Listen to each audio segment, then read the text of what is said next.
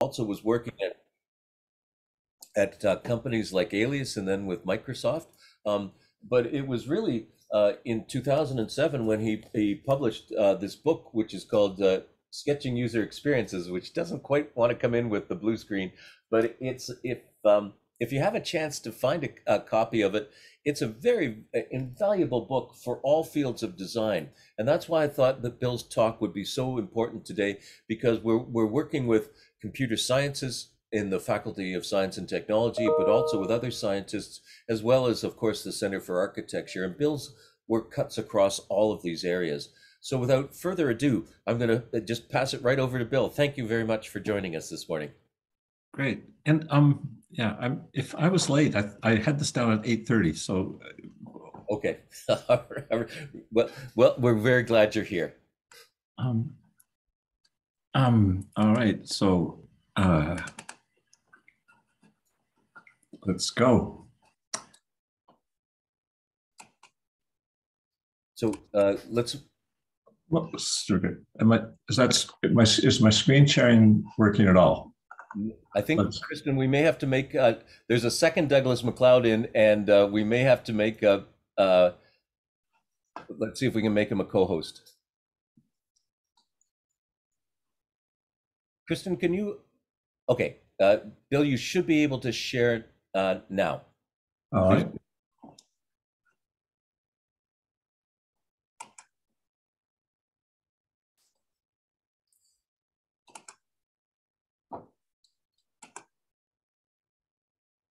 There's that little green button, the share screen button down at the bottom. Yeah, no, it's up. I've got, what are you seeing on your screen? Uh, okay, got it. Here we go. Let's- There we are. Now it's starting. It's starting. Yes, now we see your your slides. Wonderful. Okay, so we can, uh, we can, we can rock and roll. So, um, first of all, it, it's funny to meet this way, Doug. Um, uh, some part of electronics always gets in the way, or or if there's a mediator, I guess is a better way to say it. So, um, first of all, I, I if there's a in the chat window, if questions pop up, since um, it's harder for me to monitor. If if say Doug, if you monitor that, and if the things come up, I'm I welcome interruptions. Okay. And, and to make this interactive. And if you want more detail along the way, just ask, and I'll make sure that we leave time um, to uh, um, to to um, questions. So, uh, and I'll do my best there. So we're talking about sketching.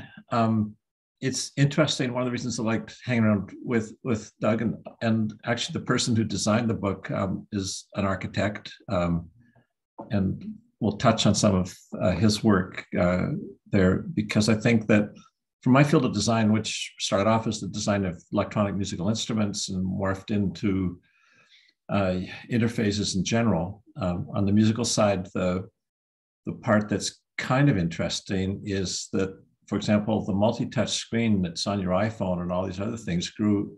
Um, uh, it it didn't it its growth path, its evolution went right through uh, the studio where Doug used to be on a drum that I made for a percussionist in a group called Nexus, but also he played on Steve Reich. He's a hand drummer, and um, and it started off as a drum so you could hit it with two hands and have it respond the way a hand drum, because the skills that this percussionist had was drumming, not working a computer. And so I had to make the technology fit into his skills that he'd worked for years to become world class at. And so there's these strange bedfellows and cross disciplines that really help inform uh, and things. And if you look around, you're going to um, find more than enough opportunities for creativity. And that's what this is about, exploring um, the uh, creativity and the act of, uh, of producing things that are essential. Um, I, I want to start though to speak about something I really, uh, I want to just set my cards on the table. And I absolutely am against sort of the great man theory of uh, invention, design, and the designer dressed in black and the person who's just this hero.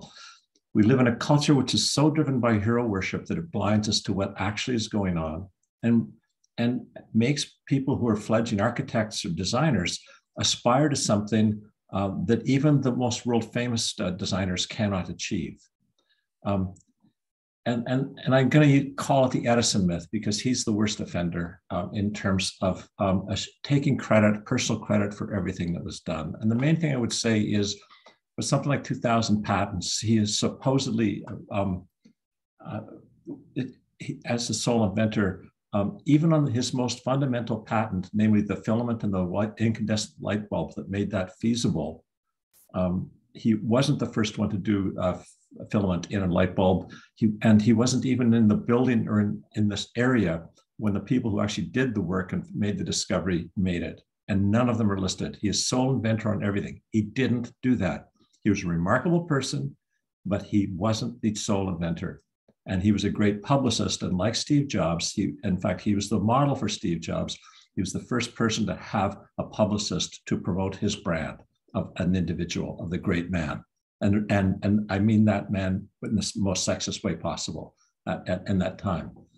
And so I want to put an, an, frame everything I'm saying here in terms of alchemy. The notion of what too many people aspire to or have been led to believe is that there is this flash of genius. There's these great creative people, and they're born with it. It's sort of like what spoiled Star Wars was in the first episode, the fourth one made, where all of a sudden you realize that the Force was genetic as opposed to something you built up inside. My, my son stopped watching Star Wars when he saw that because it ruined the entire story. Yes, the Force is with you, and no, you don't get it by birth. You get it by by by practice and it's the alchemist's solution. You cannot make gold.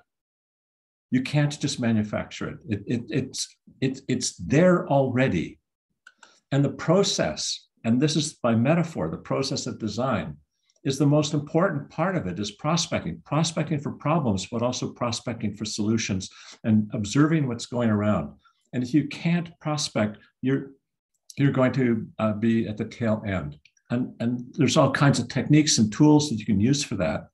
But most of us, if we're on a out canoeing in, in the north north of Canada and you're walking across the Canadian Shield getting eaten by mosquitoes carrying a canoe, you don't even realize that you're walking over a diamond mine or a gold mine because you don't know how to prospect. And then the first thing you do then is say, hey, if I if I care about mining that type of thing, then maybe I should invent the uh, or or find a, a Geiger counter if I'm looking for uranium just for ease. But that's not enough. You first of all have to prospect and find it. The next thing you have to do is you have to mine it. You have to figure out how to get it out of the earth and, and, and get the raw materials. And after that, you have to refine those materials in, in, in terms of uh, taking the gold and actually turning, uh, extracting all the other materials, trying not to completely destroy the earth in the process, and, and, and actually start to make gold. And but even then, your job isn't finished. And, and this is the, the finer parts, the most visible part of design. But the part which is just the, the dessert, the, the, the icing on the cake, is the goldsmithing, where you make you take the gold and by by working it further, you make it worth more than its weight in gold.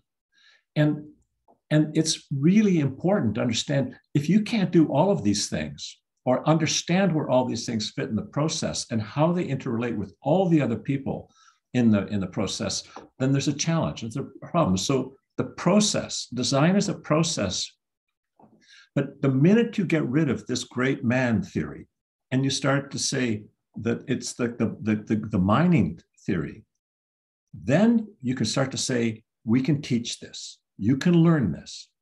And like any conservatory of music, uh, let's say in Salzburg, you can become, because the infrastructure is there, all the learning tools are there to become a great musician if you put the work in. That doesn't mean you'll become Mozart. But Mozart will only emerge from, uh, from that infrastructure that was designed for people like you and me, normal people. And, and it's really critical because I, I, I it's really gets you down. And, and, and of course, then you have to figure out how to deliver that, that wonderful piece to the right market in the right way. All of those things for the product to exist in any meaningful way as opposed to a piece of art. And art, it, design is not art, it's a practice. And so, where does it fit in? Well, everywhere. That that from the very beginning right through the very end, design is involved. And it's even designed in the design of the mining tools. It, it's recursive. And, and, and that means because it fits in in every stage of the process, and I don't care whether you're talking about architecture or the design of a new mouse um, or a new process, that, that you have to know everybody else's role in what it takes um, to bring that thing to market. It's a job. And you have to know the stuff, and we have to have the craft and learn it in a way. So if we're about to get divorced, the bank's going to foreclose on our mortgage. Um, we're sick as hell. Uh, we hate our job. We hate our clients. Uh, we hate ourselves, kind of, and we can still do the job because we can fall back on technique and process. And we don't have to rely on the muse. If you want to rely on the muse, then you might do some great work, but you should probably go become an artist and, and, and get a Canada Council grant as opposed to become a professional designer. And, and then they come down to this whole notion of sketching. So where does that fit in? And, and it's a really essential tool of design. I think it's fundamental to the design process, but even there, I think there's some confusions. For example, people confuse sketching with drawing. Um, so it's essential, but it's not sufficient. And we have to try and figure out where it fits into the larger process. And, and the most effective way for me to try and talk about it, or even when I'm talking to myself, is to keep reminding myself it's not the artifact that it produces. It's what it's the it's the activity that it engenders. The sketch is has an intent, and the intent is to provoke and and and push you further. The sketch itself is a nice artifact to capture snapshot of one of the steps, but it's the means, it's not the end. And so, yeah, it's a nice drawing. Great, good on you. What ideas does it? Why should I care? Unless I'm looking at it as art. And so it comes down to divorce the process from the from the material. The material can really make a sketch more effective, but not in the ways that most or many of us think about. And it's social. Uh, sketches are social, have social relationships with other sketches, those would precede it, those would follow it, but it's social in terms of the conversations that it provokes. And in many ways, the whole process of sketching is to provoke conversations and to make us think and give us landmarks, reference points, so we don't get lost. They're like when you're uh, hiking in the wilderness, if you put down waypoints with your GPS, whatever, so you don't you don't quite get lost, or you can just sort of mark up the spots, but it's not the journey, that's not the route. And yes, it could be a drawing. And so, for example, um, this is a detailed from the notebook of uh, time uh, Taccola, and this is from the mid of, um, middle of the 15th century. And this is, to the best of my knowledge, the first recorded use of sketching um, as opposed to drawing. So let's be clear, there used to be sketchbooks in architecture and there were pattern books. And this goes right, you know, Alexander, when he talks about pattern languages and so on in, in, in architecture, um, this has a really long history because before photography and everything else, people went out and they drew all these, um, especially the, the classic things. There were all these catalogs of like the Sears catalog or the Canadian Tire catalog or, or Lee Valley Tools catalog with all of the patterns, uh, all of those little details. And you would go through and you'd uh, pick this, that, and you put it together like Lego in terms of that. Those are some of the tools. That's not what I'm talking about. Those are things to capture snapshots to set out a mosaic of materials that you can use, just like a color palette. It was a, a feature palette that, that and, the, and you could pick different styles, like different fonts um, that would let you make choices. And that, that, that was clearly part of a design process. But those drawings with a very different intent. They were to capture, record, so you can, as a memory aid. Taccola's was the first one where he's working through ideas. And, and this is just about um, ways to protect boats, uh, ships in, in war, and different types of battlements. And the most important thing about this sketch, and I know it's vague and fuzzy, but heck, it's from the middle of the, middle of the 15th century. Um, he had multiple solutions there. He's got a whole bunch of different ways to show the um, to, to, to sketch out ideas and just capture them and, and, and notice there's text in there to annotate. They're messy, they're just dirty, they're just, but they're, but he's working in multiples. He's really doing fast. And it's the number of ideas that, that captures the essence of sketching, not how they're articulated, other than the fact that they look like they're knocked off really quickly which is an important aspect actually of, of what the sketch sketching language was. And yes, it's on paper. And this is when we think about sketching, this is the um, kind of renderings that you would expect to see. Everybody would call that a sketch. They may not say when or when it was done or wh whatever, but they probably wouldn't emphasize the point that it was multiples of the same idea, different variations. And that's the most critical thing. It's exploration um, to, to find out where, where things lie but it doesn't have to be a drawing. This is a recreation that I made of uh, an early sketch of the Palm Pilot, which was uh, which kind of uh, was a predecessor to your iPhone um, or, or, or whatever. Um, and and the Palm Pilot just was that everybody had one. It was a it was the first pen-based uh, handheld the uh, called a PDA or, or, or, it was like a little handheld computer that had your address book and all this stuff in it. It was had a pen, you could use your fingers. It did all kinds of really cool things. But the most important thing was it had to be handheld. And so literally the first prototype was go to the shop, get a block of wood, cut it so it'll fit in your pocket and will it fit in your hand? And what's it like to draw on? And it's an experiential prototype because the whole thing was it wasn't what it looked like. Oh, that was important. There's a secondary issue. Can it fit in your pocket? Can it be with you in the context where it's used? And will it fit in your hand? And what does it feel like? Can you actually write on it with a pen? What does it feel like? And if you can't feel it and experience it, then you're probably going to get the design wrong, depending. Um, and you have to do everything you can to figure out how you can actually experience it before you build it my rule is this the only way to engineer the future tomorrow is to have lived in it yesterday.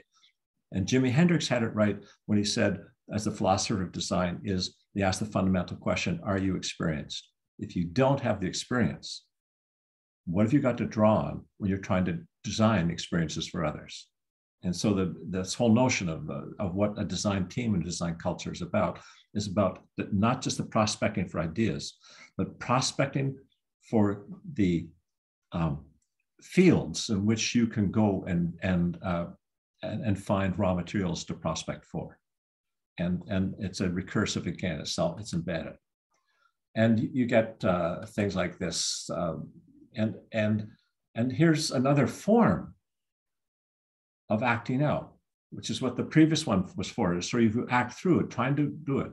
This is a really, this is a, a world famous psycho, uh, uh, sociologist. He taught me everything I know. Actually, Richard Harper, this guy here in this image, um, when I wrote the book and I gave him the manuscript, he made me throw something like 40% of the book away. And he said, You're saying things too many times. You've said them already. And the book is, he's the one who's so responsible. He's not a designer, but he's the most incredible book editor and author I've ever met. And I had to trust him because he knew more than me about my own field from the perspective of storytelling. But here's the deal I was trying to talk about context. And as architects, you know that there's, you know, um, there's this whole thing, right? Uh, we shape our spaces and spaces shape us. So um, the fundamental question is what should the space be like? It says, what do I want to be like? Once I've built that space, how is it going to shape me? And what's appropriate behavior? What are the social mores? Um, what's the moral order of any particular place that you're, you're designing? And so I wanted to emphasize that it's not about the room. It's not about the meeting. It's not about anything. When he walked, I just said, Hey, Richard, I want you to do something. And he looked at me and said, I'm working on the book. I said, I want, will you come to work tomorrow in your pajamas? Because I know you've got a meeting, you got to present to it. And, and damn it, he did. And, I, and this, was, this is a stage. He came because I asked him. And because I asked him, and there's that, that respect and friendship. And he's a sociologist, right? He's the one who taught me anything I know about sociology practically. And but he did come to the meeting, and I happened to I took my camera because I knew uh, he told me he'd do it, and he did, and I I trusted him, so I did bring the camera. But the point is, you look at this, and this is just wrong. The moral order is wrong. You just don't do this. And yet, if he was working, you know, it, it, would be perfectly fine to be talking to in a different context, in a different room. and there's a meaning in place and there's functions and and and and in some sense going to meetings if you're going to have something you're trying to make that point you can act it out. That is a sketch. And if you want to think of it it's sketch comedy in a way except eh, because it is kind of funny and it's kind of neat because humor is a huge way to break the ice when you're trying to free up. And if you want to be creative the point is how can you be creative if you've got to pickle up your butt and you're so t- uptight you, you're too afraid to move and, and play with things playing with ideas is really really important and in fact Alex Manu, who, who teaches at OCADU in, in, in Toronto, he said to me once, he said, the last thing you should do is draw a line. The minute you draw a line, you're already committing yourself to something. And it's all about play. And he's written books about that. And, I, and, and, the point is this you gotta be flexible and what it is, what a design is.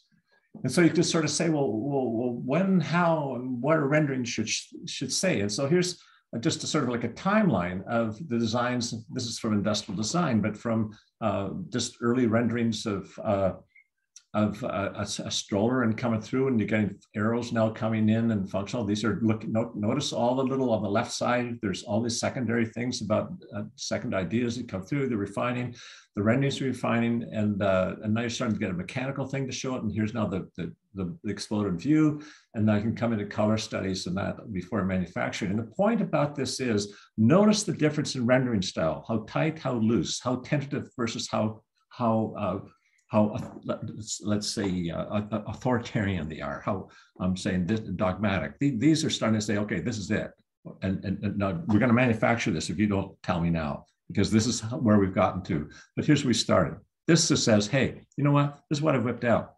Um, you, what do you what do you think?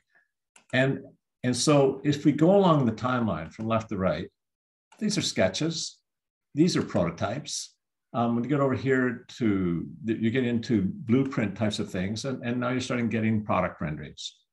And one of the things, there's, there's two things that happen. As the rendering gets higher and higher fidelity, the number of objects you make and the number of exemplars there are goes down. So quantity trumps quality in terms of rendering. But there's the two things that are, I think, are really important. What underlies this is when I, I, I to when I was preparing the book, I, I taught some courses fourth year and for first year master's uh, courses at, on design at, at OCAD. And, and the first thing I say when I come into a class is say, I take marks off for good work. And the students are all trying to uh, say, what, what are you talking about? No, no, I said, really, if you bring me really good work, I'm going to fail you. And I don't care how good it is. The better it is, the more I'm going to fail you. This is a class on sketching. And if you had time to do that one beautiful rendering, you had time to do 10 variations, meaningfully distinct, various versions, because you have already committed to your first idea and just run with it. And you don't know what you didn't do because you don't know what you don't know because you haven't explored the space. And and it's too expensive to go backwards once you've you've committed down that path and you hit the brick wall and realize crap there's something else i could have done. So quantity goes down as you go forward and the quality of the renderings come up. But the critical thing in the way we have to think about this is that you need multiples.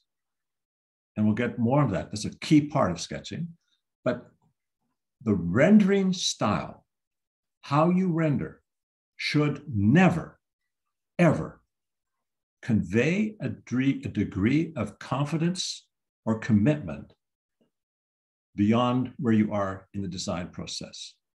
And the reason I hate, even in my own industry and even in my own company, when they do these envisionment videos and things like that, trying to portray the future and future ideas, and they do it with the cinematic uh, vocabulary of a TV commercial, I think that's verging on dishonest because it's saying that makes it, if you use the language of product marketing to market an idea, I'm sorry, that's misleading because most people who see it are going to think you've already done this. And so many people you look on online that they'll put, hey, I invented this and make a, a 3D beautiful rendering. No, you didn't. That's the that's a trivial part of design. And this is the process. That's how you, this is how you get there. And this is where, and, and we'll talk a bit more about this. But again, the quantity and the quality. So let's talk about what I'm talking about. What, what makes a sketch a sketch? First, they have to be quick and timely. And even if you did spend a bunch of time on it, it has to look like that you didn't. It has to be, you have to be able to deliver right away, and it has to look like it was right away. And you know why? Because I might want to say, hey, get rid of it. And if you spent all night working on that one piece to make me your client, your boss, your colleague, or whatever, uh, you're not going to be happy because I'm criticizing you. So you got to do it fast, and they have to be inexpensive and disposable, or at least to whoever you're sharing them with. They have to appear that way. So that when I say, hey, no, not this one, but this one's pretty good at that one, because you've got multiples, I'm not attacking you because if you give me five different sketches, each one meaningfully distinct from each other, and you have not made a decision on your own, then I can come and say, hey, this one's, uh, you know, I like this one. I want to take part of that to part of that and put them together that way, or, or whatever. But if I reject them, I'm not rejecting you because there's not a one-to-one relationship between the work and the person. You haven't made up your mind. You're giving me the sketches there not for you to teach me about tell me what tell me what to do, but rather it's there to let me contribute but also to express an honest opinion and do so without destroying our relationship.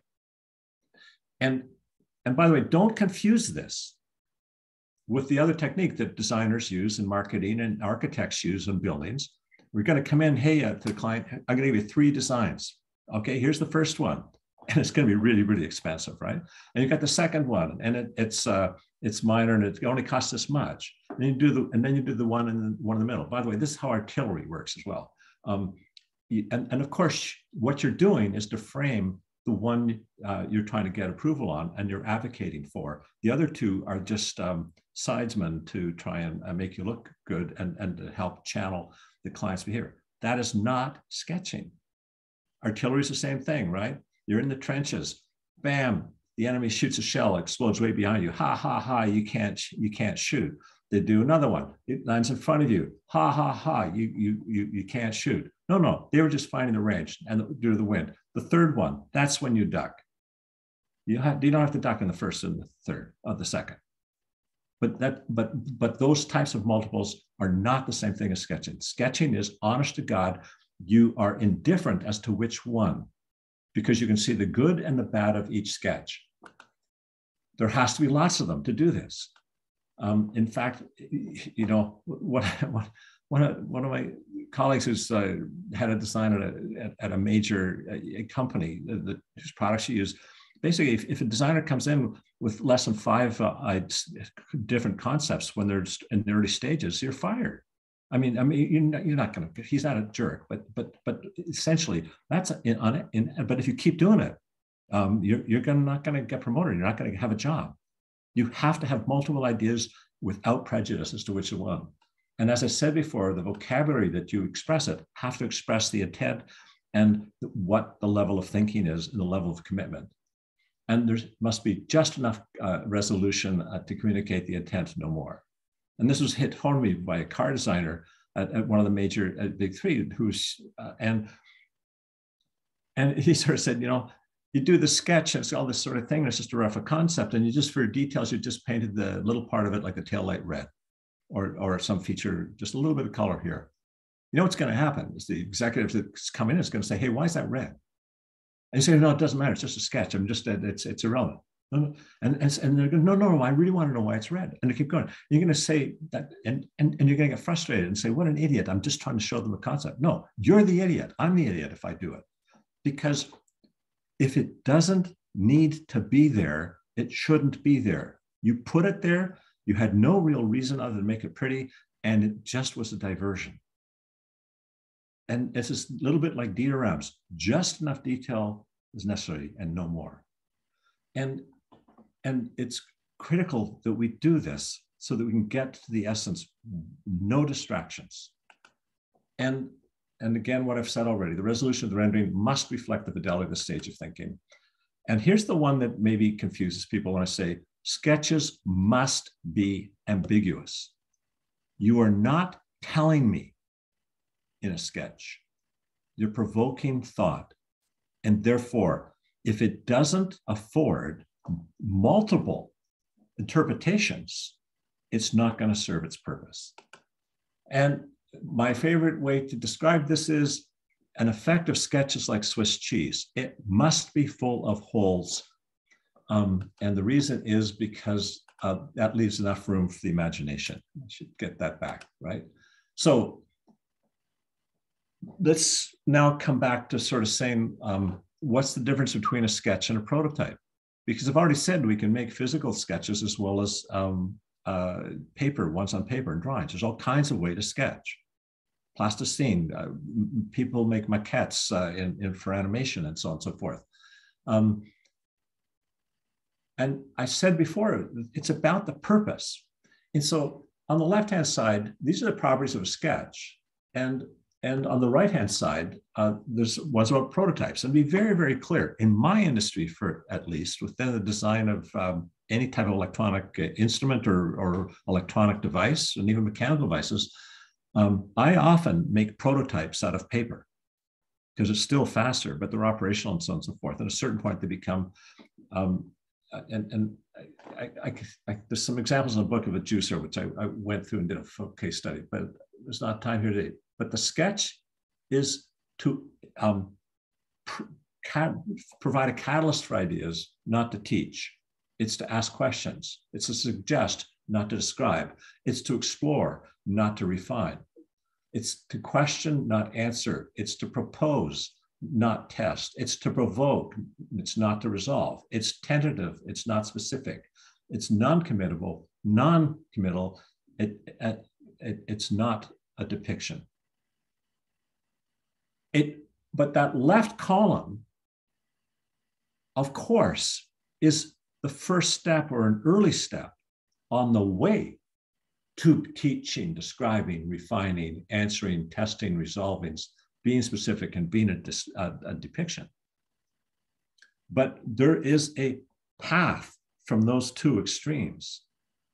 And the whole point of the early phases of design is to make sure that when when you start off with a blank piece of paper and you get here to a very accurate description that you're committed to, that you not only get the design right, but you get the right design. And if you have not explored every possibility at every step on every decision along the way, you are probably going to have the best product that's a failure. Beautifully engineered, gorgeous to look at, and it's a failure. And by the time you're halfway down the process, you find that out. It's too late. You can't go backwards and refactor and start again. You're, you're done. And the most important part is at the early phase of the project, that's when you have the lowest burn rate for your clients. That's when you have the time to experiment and take these chances. And so, what you can by sketching you can get way further down the process without going down that process because you're working at such a low level of fidelity that, that all you can see are the essential concepts. And some of those might be fine details. God is in the details, but, but it's really important to know the difference. And if there's a one word that defines design, in my perspective, it's choice. And so this comes back to the notion of multiples. if you only have one thing, you have no choice. It's, just, it's, it's, it's a done deal. And it's choice for the client, it's choice for you, it's choice for your colleagues, it's choice for the engineers, it's choice for the marketers, it's choice for the exact financial people. And the question is, you have to set up and control the environments around to make intelligent choices. And so it's in how do you inform and be, and and so if you're going to choose the most important thing about the design process is that make sure that you're not giving five choices of the same thing and so we the sketching again is a way to tease out what are the meaningful distinctions that make things meaningfully different So there is a meaningful choice and one that we can evaluate its viability. And we have to understand that every choice and every design has a good side and a bad side. Nothing's neutral. Technology is not good, it's not bad, but nor is it neutral. And then the question is, what's your criteria for making uh, the choices? And so we're going to get to that. But the most important thing here is to emphasize over and over and over is it's about multiples, but not just arbitrary multiples in quantity, but also in quality, uh, in terms of what the qualities are. What are the design values? They must be meaningfully distinct. And you have to figure out within your colleagues what are the dimensions of differentiation that qualify to make them distinct. But there absolutely is no room for only one solution to just do this and say, okay, let's build it. And, and because you might get lucky, you might be a one hit wonder, but you cannot repeat it. You will not be able to do that when you're hungover, depressed, and, and the bank's foreclosing. Richard Sewell used to um, head up design at, at, Sheridan College, who I worked with a lot. He's founded one of the top print stu making studios in, in Canada uh, called Open Studio. And, and he just sort of said, I can't do crit on a single piece of work. Because if I criticize the work and there's only one piece, I'm criticizing you. I've already said this. Multiples are important there for many reasons. A, they let to explore multiple ideas. But this part emphasizes it also changes the social dynamic within the design team from one of hostility and causing resentments to one of saying, wow, you're super creative. You did all these different things. You did them really quickly. That's fantastic. What a great designer because I've, I've learned a lot. And by the way, the thing we're going to do is not any of the ones you did, but with the, where we landed was directly because of you did those ones. You maybe shut all the other doors that led us to another door. Um, it doesn't matter it's a team sport. So there's two places to exercise creativity in design. And by the way, I have this operational definition of creativity. And, and for me, creativity is the act of making the obvious obvious before it's obvious. If you get it right, it's going to be simple. People are going to say, hey, that was obvious. Yeah, but it wasn't beforehand. And how do you make it obvious? Because when you've got something that in retrospect is obvious, but it wasn't but was hidden in plain view. And you're the one who had the optics to see the, the potential there. That's going to be a really, a, a, a, really successful product if, if, if that's in fact what happened. And there was a need for the thing in the first place. But the two places are the creativity that you bring to enumerating the set of meaningfully distinct things uh, from which you choose. So it's not just multiples, it's which multiples. What are the candidates that you nominated for consideration? You nominated to be explored. And how did you get them? What's your process? Um, how diverse are they? How can you convince me that they're not just variations on the same theme at a micro level when you should be going much broader? What are you drawing on? And this is where Jimi Hendrix comes in again. What if you're not experienced? the pool from which you can draw, the ocean in which you can fish, is much, much smaller. And I don't mean that just as an individual. This is the social part of design again. It's amongst your design fellow designers and, and your collective experience. And that's why you never hire somebody who's like you. You've already got the best one in the world. Um, you. You want people to work with are people who are different than you, have different skills and and and then together you you work together. It's what I call a Renaissance team, right? There was never a Renaissance man or woman. If there was Leonardo and Michelangelo, didn't need the Medici. Why didn't they do their own banking if they knew everything and could do everything? No, everybody needs complementary skills to be successful. And the enumeration of a set to draw on is directly correlated to the experience of the collection of the people who are trying to uh, uh, work on the concept. And the second thing is once you've made those choices, how do you, I'm sorry, once you've, you've, been, you've done the enumeration, the expansion side, how do you then narrow it down and filter? And I want to be very, very, very clear. And this is the fundamental part of the process that cannot be violated, or you completely destroy the culture of the design team. And people will leave. And that is this in phase one, you'll be sent into the corner if you reject any idea or you criticize an idea. All you can do, and it's a given in the culture, and this is what every designer has to, to enforce and discipline themselves, or else because it, uh, anyone can destroy the culture, just one person. And so it's a responsibility. You can enumerate the negative and positive aspects of any idea. Hey, this is great. It's got these problems, but but but on the other hand, it's really good here. Everything's best for something, worse for something else. Just take that as a, as a true truth. Mark those things down as you enumerate things. But if anybody advocates for the adoption of a design at that stage or rejects it says it's a stupid idea, why is it even here? uh, if take them aside if you care about them and try and help modify the behavior before it destroys your team because the decision making the refining comes after you've got a full palette. You start to sort things. You see them categorized and you'll start to cluster. That's why you have these big boards and mood boards. You spread things around. That's a social aspect of, of the process.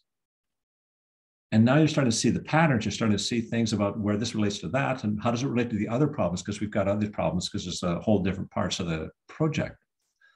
And then you can start to make a holistic view because you've got an overview of the whole thing before you make those decisions prematurely.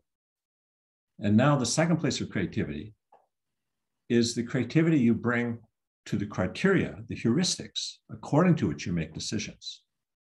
Now you can start to do the evaluation because you've all got agreement on what the things are and how they relate, or consensus, or an agreement to disagree even. But but then you start to do that, and these are separate phases. They have very different social uh, protocols in terms of how you behave and what your purpose is. And if you do not make a clear line between the two, it's going to fail it's or uh, it, it's going to fail more often than it needs to. So here's the enumeration.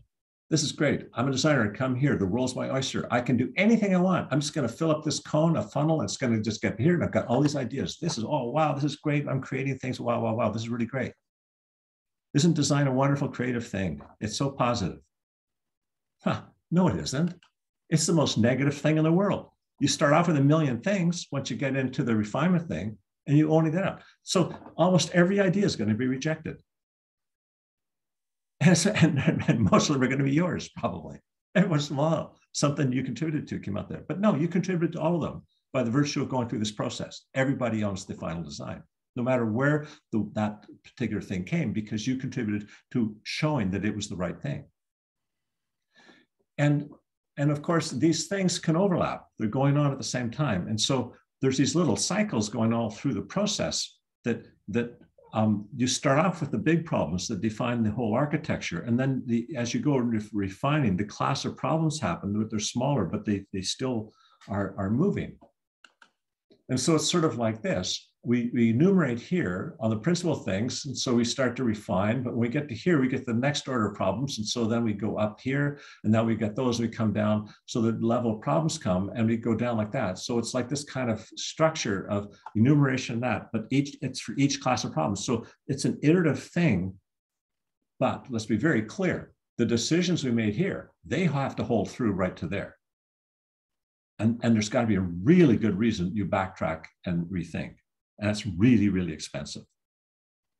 At, at, at, Microsoft, listen, if I want to change something in an operating system and something, there's 3,000 programmers working on that one design. 3,000. And that's not including the designers. Those are just the engineers. Backtracking, once you've invested a, a couple man centuries or person centuries in the project, is kind of expensive. That's why at the early stages of design, you've got a group of you know let's say whether it's uh, 10 or 30 or in some cases 100 people working on that on the early stages. That's way fewer and it's easier to backtrack and, re- and revise when at that early stage than it is when you've got 3000 as opposed to uh, 3 or 30 or even 300 I'll give you an example about design. So since your architectures, I, I love architecture. I love architecture for all kinds of reasons. Uh, I had people like Doug, uh, you know, pushing this stuff because it, it's just a great thing of design. But I think that this is the this is a Seattle Public Library. It was done by OMA. Um, Josh Prince Ramus was the architect, but it, it's Rem Koolhaas's company, and um, and I wanted because it was a Microsoft. I was working at Microsoft at the time. I wanted just did a anatomy. The, again, the the, uh, the, the person who Henry Chung who designed the sketching book actually did all the interior graphics and the wayfinding in this building for for Josh. And so we spent some time with Josh, uh, New York. I went down just to to try and talk about this because it's a project that's on a scale of the things that we do in software and and, and and so there's a timeline here that I think is really important. So the call for proposals was in November 1998. Um, the building opened in J July 2004. Um, the contract was awarded in May 1999, and the construction began in 2002. And, uh, and again, you see where it's opened. Now, what is kind of interesting is that um, the award was given here um, the thing that um, already by uh, this, they had this um, model done, and it's clearly uh, capturing uh, the what the eventual building. But you could sort of say, hey, the design's done. And, and if as architects, you'll know, you'll see the model say, hey, you've already done the design. What, so what? Well, no, you haven't. You've defined sort of the form that all the, you know, where's the plumbing? Where's the where's the power? Where, where's how are the floors laid out, and so on and so forth. But the thing is, this is. But most people who aren't designers are going to say, "Hey, you've already that's the design." No, it's not. It's a representation of the form, and nothing to do with the experience. And and what I find interesting is the construction starting here, it goes that long, but the design cycle started there. And what's critical is the design, not the, not the finished thing. The design wasn't finished till after the building had opened. Because you because no matter with 3D graphics and everything else, the, even the most visionary architects, whether it's Frank Gehry, Rem Koolhaas, or anybody, um, when they're walking through, they cannot fully visualize what's appropriate and those fine level of details to tune the building until they can actually walk through it in a near finished state, no matter how great their imagination is. And so they're going to be making those detailed changes after the building's even been delivered. And, and the same thing's true in software. And by the way, what nobody pays attention to in my world is the fact that there's a whole other architecture firm hired to write the brief, the design brief, and the proposals that, that in taking on that job, they weren't allowed to bid on the contract. So that it is architects who were deeply involved in setting and preparing the call. Design fits in all, all of these stages, and in every, every one of them at every stage and every class of problem, sketching is part of the process. So let's just remind ourselves that this is clearly an architectural sketch. And by the way, this is another product that architects do. And most people don't, they think, oh, that's kind of the, this, no, no, this is the key part. This is the meat and potatoes. This is the stuff inside that model. That's what sort of got the model going. But even there, there was some vague notions here. But this says we're down to the point where we're starting to do blueprints to build. This is definitely not something you give to build. So let's talk about filling the funnel. You got to work fast, you got to enumerate, not adjudicate. You have to take marks off for good work. You have to be playful so that you don't care. You're not getting all uptight about things. And there's a process called 10 by 10. So you just get small groups, you each come out, you take an idea, you do 10 versions, and then you take, but you have multiple people, you um, and you you just start to build these things up and you, you, you break into small groups and each one does a few. Maybe you can't come up with 10 ideas, but you can come up with two. So get five people. Now you've got 10. Or you, you can work like that. You must have multiples, they must be different, and you must have a divergent views. And so having one editorial viewpoint from the beginning is going to constrain the design. Um, and, and, and I'm not going to go through this. There's a workbook that goes that's even much cheaper than the book that, that that Doug showed that, that goes through exercises of how to do this stuff. It's online. Um, there's tutorials and that sort of stuff. So I'm not going to go through that. There's just not enough time. But I want to, but what I want to get to are some things that aren't in the book and weren't there. That that subsequently, if I ever was going to, and I'm not, do a revision, um, what I would state differently. And the main thing was, I keep talking about um, uh, you know, Jimi Hendrix and the, the art experienced, and that that says what are your references and stuff like that. And I, I talked about the inherent nature of designers to be collectors and get all these reference objects and have them around. And I realized, and, and it, it, I, can't tell you how um, blind I am about certain things. It's really important to be self-critical and reflective because you can learn.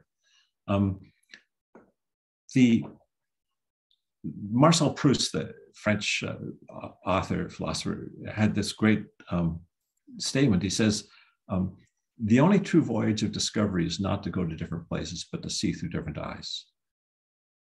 And as designers, that's our job. When I say the creativity is making the obvious obvious before it's obvious, how do you do that? You get different eyes. You train yourself to become an optician you figure out different lenses in which to view things. Where do you find those lenses? By looking around. What are the lenses of other people? When people say something and you say, wow, I never thought about that. I never saw that. No, no. What you should then, the next step was, I, I, wow, that's really neat. I didn't see that. Why didn't I see that? The next question, how did you see that? What is it in you and your training that gave you that insight? Remember I said it's, it's, it's prospecting? It's prospecting for lenses as well as it is for the things that lenses reveal. And, and, and, and so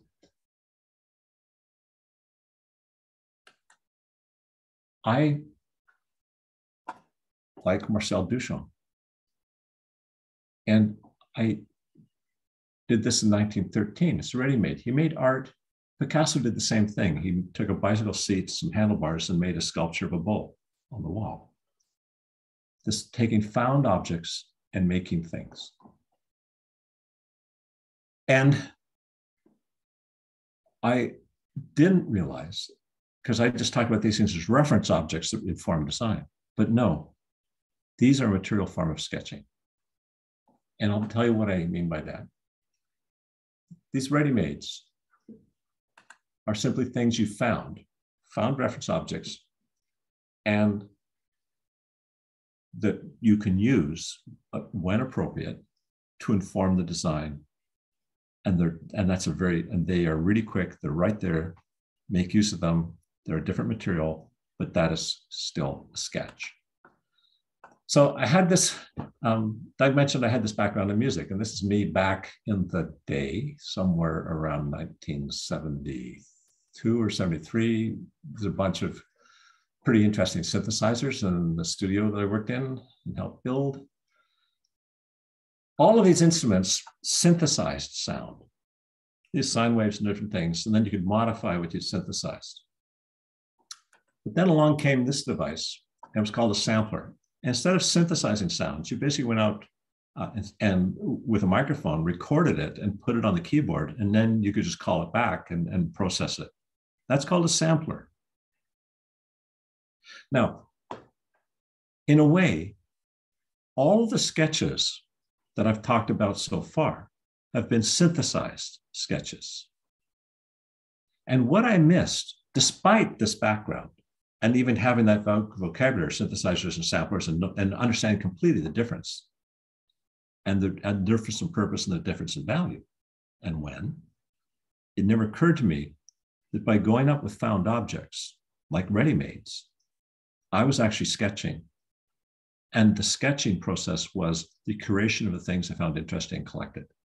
And by the way, I now have over 800 um, devices and objects that inform my design practice around um, the, the, digital devices that we use, which I'm now curating to give away to a museum, but uh, probably to Cooper Hewitt in New York. But the key thing is um, this notion of sampling explains the whole compulsion that most designers have about collecting.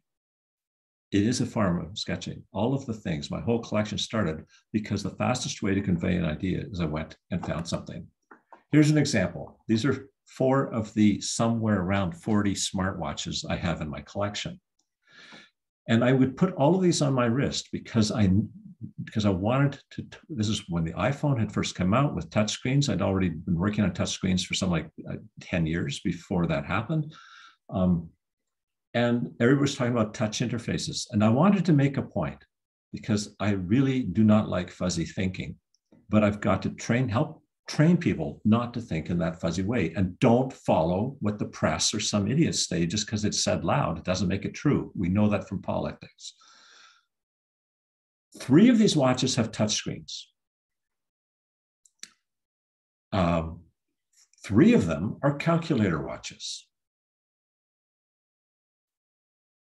And I would suggest to you that you know that this watch is a calculator watch. And furthermore, you know that because the keypads are calculator keys and there's mechanical keys to enter the numbers, and there's where you see the results. That I can expect. And by the way, this is the watch that does not have a touchscreen.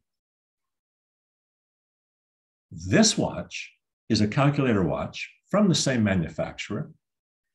And unless you uh, were fooling around, you would never know that it's a calculator watch because there's no keys. The only reason you'd know is there's a divide sign, multiply sign, and a minus sign, and a plus sign here. But the key thing is you have to enter the numbers by pushing and use a touch screen. It's a soft keyboard, rather hard, but that compromises the amount of space for the numbers on the screen. But it means you don't have all those little buttons and it's, but still the, they're not mechanical buttons. You got these little touch things, your fingers are fat and it's, it, it's awkward to type on, but it works. And it has a touch screen. You can't tell. Now this one's even more interesting because it's got a tiny little screen up here. It is also a calculator watch. It has a button on the side here that turns on the touch screen. That's the same, it's the same place on this one as well. There's no place to have a graphical keyboard. How the hell are you supposed to put the numbers in? Well, you know what? You can put them in way faster and way better than any of the other the, the other two calculator watches. Because what you do is you just write on the surface and you just write one plus two equals, the number comes up on the screen up there because it just lets you print like you learned how to print in kindergarten. And you can do that when you're walking around, you can do it with your finger and you can write large because you write each letter on top of the previous one uh, or each number on top of it. And you do the same thing in terms of the operators, the plus sign, the minus sign, the divide sign. And by the way, this watch with a touchscreen that had gesture recognition was released in 1984 for $99, and it had a battery that lasted for um, over a year. This watch has a touchscreen. It isn't a calculator, um, but it lets you um, switch modes from an altimeter uh, to a, a, thermometer to alarms and to, to control the compass and the chronometer. You can do all these types of things on it completely different function. You will never figure this one out, although it's one of my favorite watches. It's one I wear a lot. So the point is, if you talk about touchscreens, these three have a lot in common. If you talk about calculators, this one, this one, and this one. But let me tell you, if somebody talks to you about a touchscreen interface, just try to educate them because this touchscreen, if you know how to use it, teaches you nothing about how to use this touchscreen or this touchscreen. Knowing how to use any one of these touchscreen watches does not help you learn use any of the other two. The only two watches that where the skills transfer are this keyboard here and the keyboard there. And if you know to turn on the keyboard, these two watches teach each other. So they use it, they have a common design language, even if the it's a different dialect. The keyboard is the language. The, the mechanical means of execution is dialect. Um, the fact I'm using touch on these three, you know, it's neat, but they're night and day each, or except there's only, there's more than night and day. There's, there's, there's three primary colors um, here uh, in terms of the use and conceptually. And I can put those on my watch and I can give that to Steve Ballmer, who's the CEO of Microsoft at the time. I can have those on, and the space of going up four floors, I can give him a quick summary of that talk right in front of him with existing products that I just bought on eBay. And if that doesn't meet the criteria of, of a sketch, I don't know what does. That saves a huge amount of time. So here's the point that I want to make about design and design education. I got to tell you that architecture is way better at this than uh, the fields of uh, human computer interaction and HCI and that sort of stuff, where it is by the, it's pathetic, which is partially why I'm getting this collection so that there's no excuse anymore to be pathetic. Okay, here's the timeline along here. Um, here's the past, here's now, and here's the future to the right as you go left to right. Now, um, here's the history of concept A, and it follows a trajectory graphically represented as that. Now, I would like you to just use your imagination. Where's this going to go in the future? If you had to extend this line, how would you do so? I would say something like that would be the typical answer you get. Now, that is not where the future is going to be. But you can imagine that by the law of inertia and hysteresis, that it's going to be sort of in that neighborhood. You've at least got a, a, a compass point to which you that you can deviate from, but you kind of know the axis that it's uh, that it's on, barring you know nuclear war or something. And likewise, if I do this line, and I could do this with a three-year-old, they will um, draw something like that for the same reasons. They'll extrapolate from what happened before to what's going forward. And because one of the things you want to do, people talk about disruptive design. Well, let's be very clear. Disruption is really expensive. You better be very careful about the co- the benefit of that cost of that disruption is, is, is worthwhile. Um, many companies have failed by trying to be disruptive without understanding the nature of the process of being disruptive and how to design for that themselves. And again, we come along here and it's going to extend like that. Very different designs, different approaches, different trajectories, um, and, and different pro projections. But you got something to work with. So here's the trick, and, and you can do this with clients. Extend that line, because a line is just a sequence of points, and one is a sequence of one. It's still a sequence. You cannot extrapolate from a point. Every direction is the right direction, or there's no direction. And the point I'm trying to make here is precisely that why multiples are important, but and sampling is important because you can only sample things that are already there. That means there is a history. There's something you can draw on and coming back to patterns like Alexander's patterns and others, there are patterns of design in whatever field you're designing for that are kind of like this, from which, if you're trying to fill the hopper, you can start to look at the past and say, what's been in the hopper before? And where did it go? And now let's work there and use that not to follow, but at least to contrast, do the opposite, and all these other de Bono type of things about uh, thinking. But, but this dot puts to a lie the notion of, of the, the, the, of the, of the no, nature of creativity that is harnessed on the great man theory, the Edison.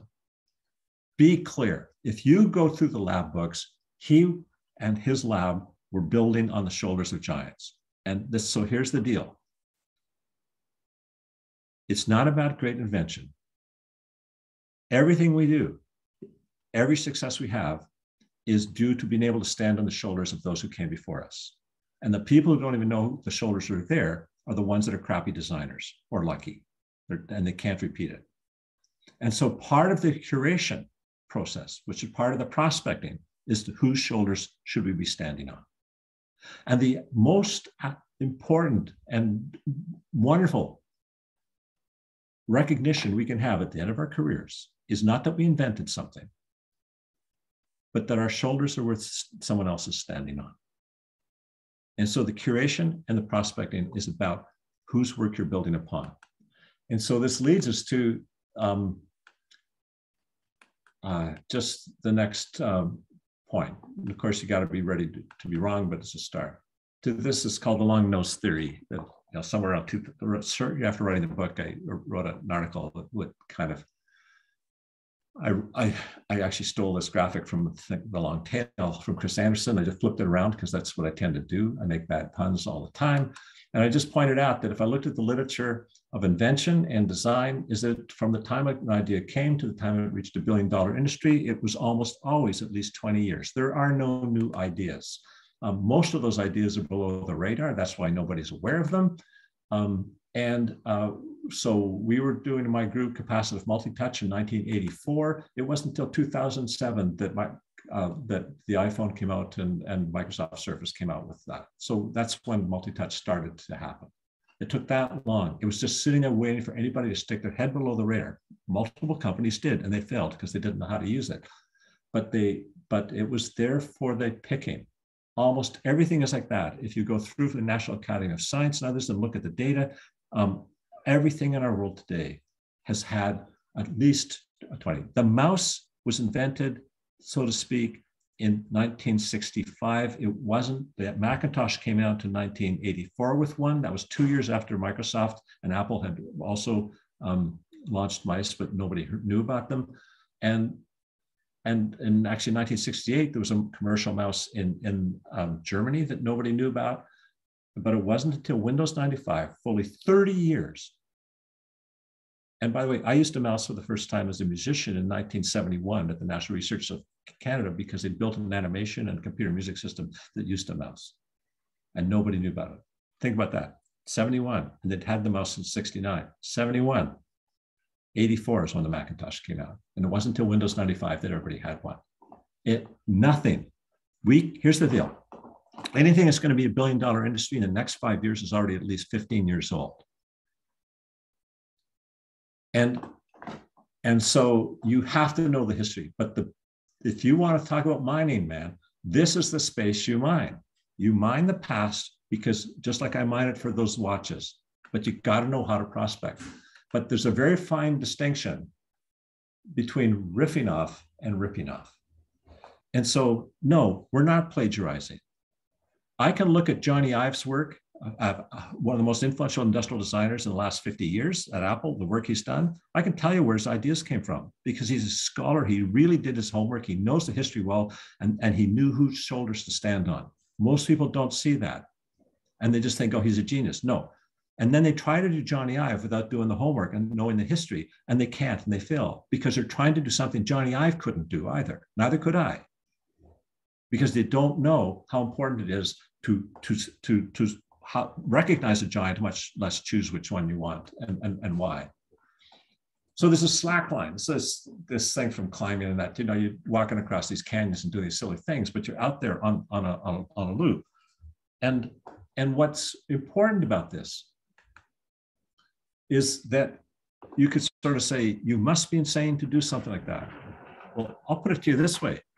Every one of you must be insane to be a designer. But I'd also say, thank God for that insanity, because the world needs insane people of your particular demented, state that your parents let you go to school or you're putting yourself through school to become a designer. God, we have never needed designers more than we need them now.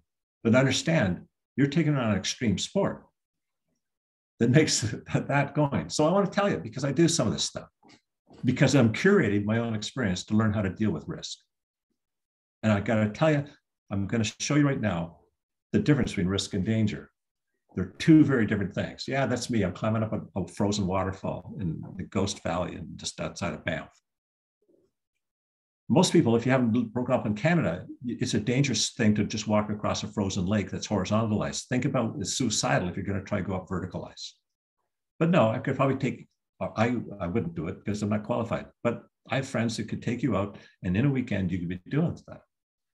So, what do you need when you go into a danger sport, extreme sport like compared to ice climbing? Design is way more dangerous if you don't know how to do it.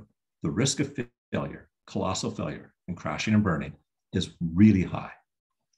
So how you and so how do you deal with it? First, you got to figure out you got to get the right skills. And the next thing is um, having had the right skills, um, you have to have um, the right fitness. You need to be trained. You have to practice. You don't come out of the gate running full speed. And you have to have the right tools. And again, that says, says, well, what is the right fitness? How do I train? What tools? What are the required tools? Every one of these things is a room where you need to design and you need to sketch. You can use your design skills, the fundamentals that we're talking about, to figure out, enumerate, and be creative about what skills are required that you might be that other people don't. Invent the Geiger counter. The fitness, new training way, new tools, and most important, who are your partners. And if you have the right skills, fitness, tools, and partners, you can turn something which is uh, would be suicidal for somebody without those to something which is uh, much safer than riding a bicycle down the, the streets of Toronto. The most dangerous thing is to take no risk. That will kill you because the, it'll be sure death, but a long, slow atrophy. And so confront it, deal with it, and build rather than fade away. And so there's a couple things about the design of the team. First thing is, listen, be very clear. There are no geniuses. The dirty little secret of highly accomplished people who seem to be superstars is what they've had to neglect in order to become highly accomplished. So when we see them, they're so brilliant and that you are like the deer in the head, proverbial headlights. All you can see is this brilliance because you're blinded by it. And what you can't see, there's nothing in the shadows because they, to get that brilliant, it's a full time job and they've had to neglect things that everyone else would take for granted. Don't be fooled. And the people to stay away from are the ones who believe that their brilliance is full 360. And, and when you are hiring, it's critical that people are aware of their weaknesses and, and, and welcome someone else filling in the gaps as opposed to feeling like you're threatening them. The smarter I am at what I do, the more I have to acknowledge my ignorance in other areas and my dependence upon others. And that's fundamental to the design studio mutual respect, so on. So let's put it this way you've seen these T shaped people, and this is how you construct the team because this is the most important thing in design, other than perhaps the process. So we've heard about this, but this is a different way to take it. This is the breadth of your experience. Um, this is the depth of your expertise. Be very clear, there's a difference between literacy, which is a, a shallow depth, versus expertise, which encompasses literacy and down like so. Every person you hire and you work with, you want to have this type of thing. They're really deep. And they have to be deep because the problems we're dealing with now are incredibly complex and require deep, deep expertise. You can't be superficial. But that, but because of that, you're so deep, you don't have the breadth to deal with the real the whole problem. So you need others. So if you're the experienced designer, you need somebody who's got the same profile, but in a different uh, depth, depth in a different area in business and in technology. And um, and and you know at Stanford now and so on. This is stuff that, that the T. I didn't deal with T stuff. I just started to do it, this type of animation, but it's this BXT model, which is what we practice and the Stanford does at the design school. Because if you take these people and you form a team, notice what you've got. You've got you've got a breadth now sufficient if you chose the right people and you know the tech skills that are required that you put together for your team. Again, coming back to the ice climbing, but, do, but, but these overlapping parts of literacy give you a common ground so you can respect and have some, enough understanding of each other's sport and understand that there's a difference in expertise and, and, and, and, and literacy. And if we just wrap this around, you'll see that it now becomes all, all encompassing. You have to design the team for the project and the skills that are required because you have to you need the best expertise and this is why you, your teams need to be floating and, but you but the fundamental thing here is because we're literate about each other's work we have respect and we respect them and their expertise. And each person has the final vote and the deciding vote on any issue within their domain, modulo the person who's um, bankrolling the thing. They, they get to, to uh, have a say as well.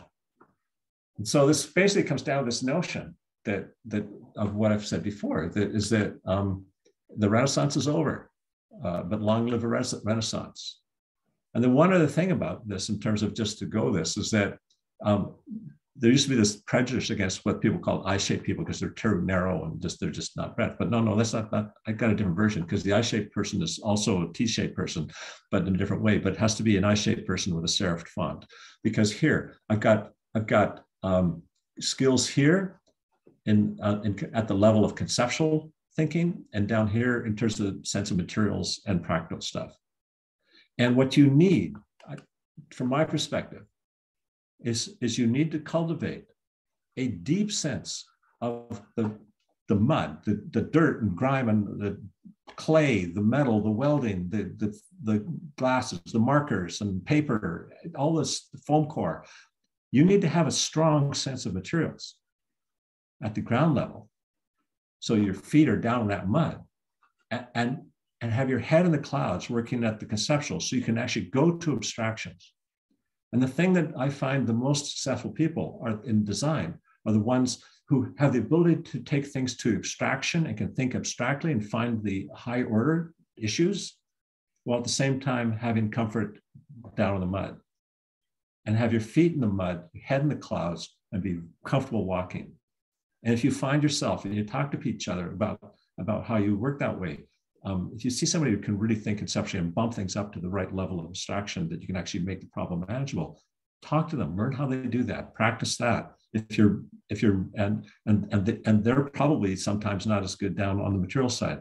This is where we are mutually support, and this is where we build up literacy in these parts so that we can complement each other in the design team.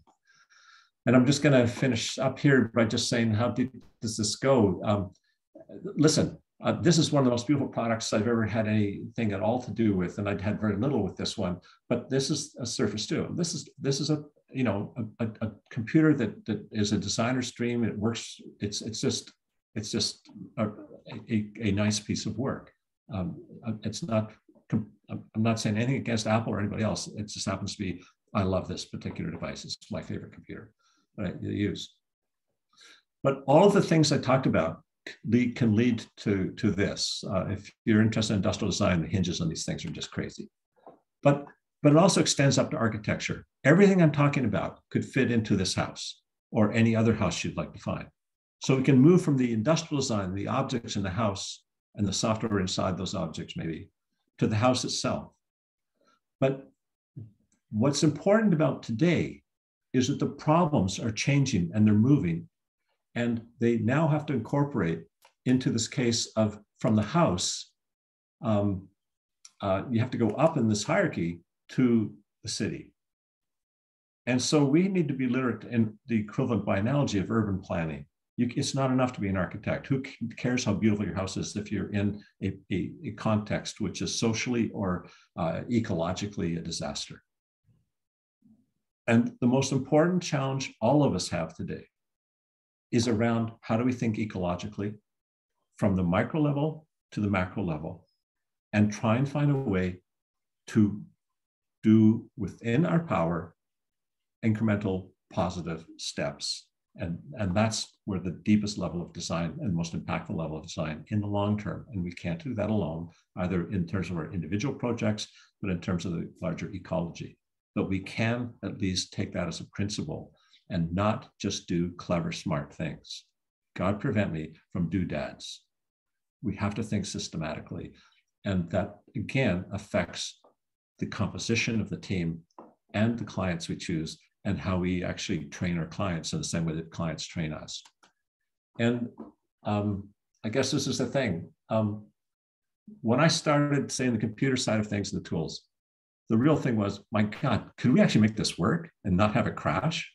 Word processors didn't work, nothing worked. And, and people would buy the stuff. No, no, those days are gone. Today, essentially, we can do anything we think about, anything we dream of. And I prefer for me not to be trying to send tourists up, rich people up into space and rocket. It's like facing real fundamental problems and, and at, at, at, at all levels. And what I've tried to say with this, going from the object to the ecosystem through the house and everything else, the tools and the skills that we've talked about in terms of design will apply at every level of this. And furthermore, vertically as well as horizontally. And, and and so it doesn't matter what field of design, it's the practice and the process you've learned to make yourself a, a, a master craftsman, if not even, uh, if, if, or even a journeyman in this, in this, in this, in this field. And, um, and I just say this, is that evolution and, and things evolving in technology and society and so on, that's just a scientific concept. This guy MacIver, he's a sociologist, he made this lovely comment. This is progress. Um, evolution is a scientific concept. Progress um, isn't that. Um, that's a spelling typo for me. Progress is an ethical one. And, and every decision we make, is the final thing to say. This sort of technology. He's one of my heroes. His name's Melvin Kranzberg. He said, technology is not good. It's not bad, but nor is it neutral. It will be some combination of the two. Every decision you make, every decision is an ethical decision. And the fundamental question is this, are you even aware of the fact? And then even more, are you aware to know how to do the triage and make the decisions necessary to err on the side of the positive um, and as, a, as opposed to bias to the negative and be aware of what the weaknesses are. Um, if you don't do that, you could be Facebook and, and see what happened because they said, oh, what could happen? We'll fix it. If it breaks, we'll fix it. No. The errors there were errors of design that were known in advance. They could have been avoided. And they sacrificed that for greed or for, for growth. And it's, it's fundamental here that we have to start thinking these ways and taking those responsibilities and understand that um, it's not a bad job if you can actually make a difference against the things that um, that are, are, happening right now. German uh, actor had this great thing. He said, "Die Zukunft war früher auch besser." The, the, future is better in the past as well. Well, how'd that turn out for you? His name was Karl Valentin. No, no, I, I actually want to make the future better in, in terms of progress, not in terms of change. And I think with these skills, I think you're early in your careers, um, you, you got the ball to carry. And I hope this helps pass it on. With that, I'll take questions. We've got a bit of time. I think we've got about 15 minutes that we could spend um, if you have questions. Wonderful. Thank you. Thank you, Bill. Um, I'm, I am monitoring the chat as well, but if anybody wants to um, unmute their microphone and ask Bill a question, uh, please go ahead. we being Canadians, we're always a little bit shy about asking the first question. So um, I'll, I'll quickly ask. I'm sorry to ask this one, but that synthesizer that you were working on when you were oh so young, what was that? Well, oh, you know what? I, I can go back because uh, why wouldn't I? Um, because I somehow it's just so uh, much a part of um,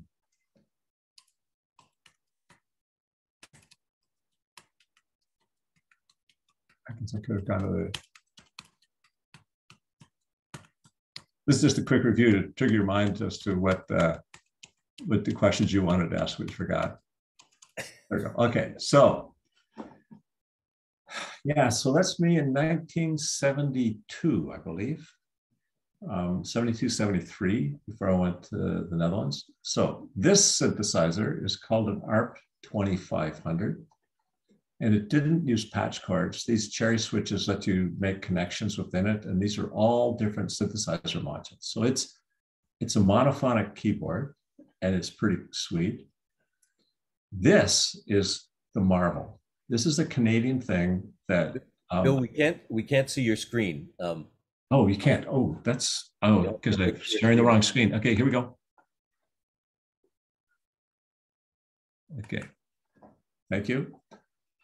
Now, start again. This is an ARP 2500. It is, I, I would still love to have one of these because, but you would only play one note at a time, but it was an analog synthesizer. You get all kinds of sound generators. They could process the sounds and filters and do all kinds of uh, things on it. Um, it was a huge thing. Um, you can now get a, an app for your Macintosh or your PC that would emulate it exactly. This thing on my left hand is actually the part that is a tragic story in some sense of design. It's got the best, all the best and all the worst. It's called a, a, a sackbut. It um, if you knew anything about a, a mini Moog, um, it it came out before the mini Moog. Bob Moog was a friend of mine, uh, so no slagging off there at all. He was brilliant. I learned a lot from him. But it's a single uh, keyboard.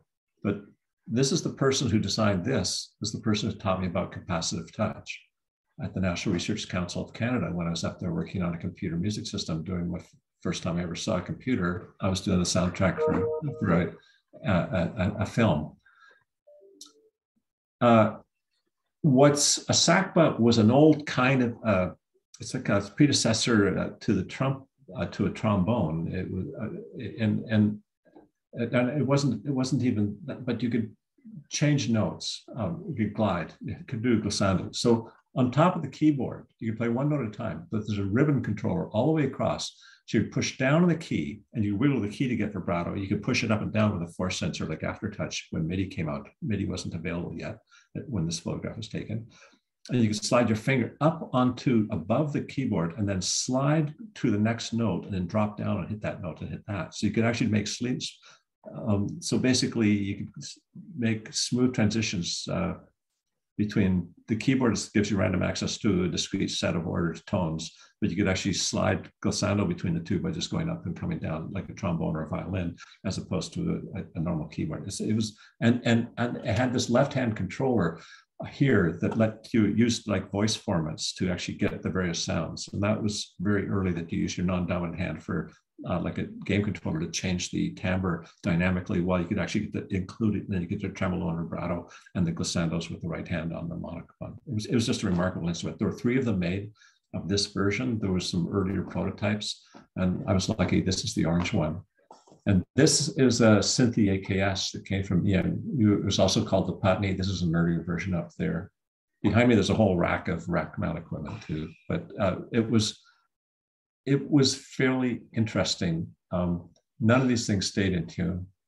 Um, and they were largely, uh, this one could be used on stage. And that's what I liked about it. And at that time, the way, as a musician, electronic music in the 60s and 70s, if you we're doing that. Um, the great art act of live performance was to uh, record stuff on a reel-to-reel tape recorder, take the tape recorder to the concert hall, hook it up to a mixer to the speakers, and then you could be this great artist and mix this stuff uh, uh, from stereo to the EQ in the room, and that was a, that was your performance, and that didn't quite seem to me as an instrumentalist uh, adequate. And this is the, what drove the desire, and this instrument there, and that guy, by meeting him because he was just down the hall uh, he helped invent radar. And so they let him play with stuff up at NRC, which is where the computer music system was and the computer animation system was. And, um, and that's where I learned about capacitive touch and its importance and relevance to music and other things. And that's what led them. And that's so this, talking, standing on the shoulders of giants, Hugh Kane, that's whose shoulders I was standing on that brought the capacitive multi-touch. And then this guy from Delaware stood on our shoulders, and then the Apple uh, ran with it. Um, and but there was a guy at Bell Labs who had done it uh, better than I did at the same time independently. It, it's just uh, we all just contributed. That's all, and uh, and everybody riffed off of everybody else.